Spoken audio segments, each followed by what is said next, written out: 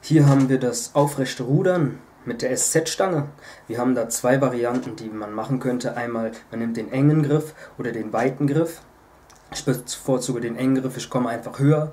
Bei der Ausführung achte ich wirklich darauf, dass ich bis kurz unter das Kinn komme und dann die SZ-Stange wieder runtersetze. Muskulatur wird da angesprochen und zwar ähm, der Trapezmuskel, Nackenmuskulatur, ähm, wie ein Stiernacken zu bekommen und äh, natürlich den hinteren Part von der Schulter. Das macht natürlich von hinten, wie man da auch sieht, eine schöne Form von oberen Anteil vom Rücken.